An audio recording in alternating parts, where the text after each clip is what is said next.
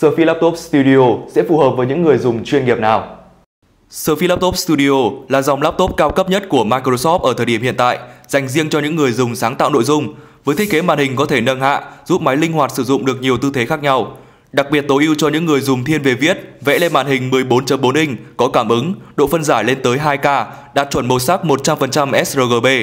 Do Form là thiết kế laptop nên máy được trang bị cấu hình thuộc dạng hàng khủng nhất hiện nay trong các máy Surface. Cụ thể là với CPU i5 11350H hoặc là i7 11370H, đi kèm với đó là VGA rời Nvidia RTX 3050 Ti. Vậy nên Surface Laptop Studio sẽ rất phù hợp với các anh chị làm thiết kế đồ họa hay là vẽ thiết kế, thường hay sử dụng bộ công cụ Adobe và các ứng dụng liên quan đồ họa multimedia để làm việc. 7 điểm nổi bật của Surface Book 3 mà laptop của bạn chưa chắc đã làm được đâu.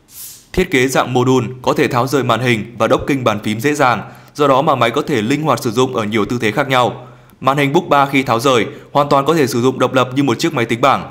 Phần docking có chứa thêm cả card đồ họa rời và cả thêm pin luôn, tức là Book 3 vừa có sẵn pin ở màn hình và cả pin ở phần docking bàn phím. Màn hình cảm ứng siêu khủng, độ phân giải lên tới 3K với hai tùy chọn là màn 13.5 inch 3000 x 2000 pixel hoặc là màn 15 inch 3240 x với 2160 pixel. Màn hình Book 3 cũng có tận hai camera trước và sau như các dòng Surface Pro. Camera đều hỗ trợ video call Full HD 1080p.